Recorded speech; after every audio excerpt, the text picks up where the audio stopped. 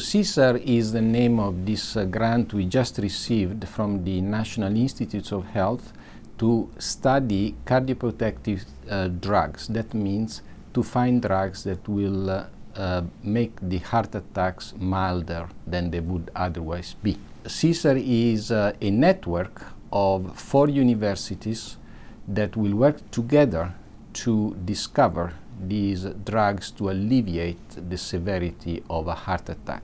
These four universities will work together by uh, performing the same experiment without being aware of each other's results. The reason is that we want to make sure that our results are reproducible from one laboratory to another laboratory.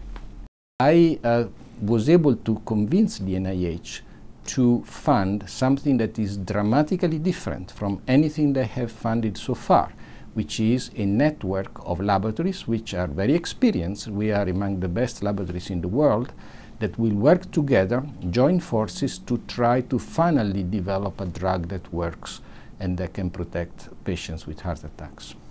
What we are hoping to achieve in five years is to identify at least one drug that will be reproducibly effective in our experimental animal models of heart attack and that we can therefore go ahead and test in patients with a reasonable likelihood that this drug will be also effective in patients.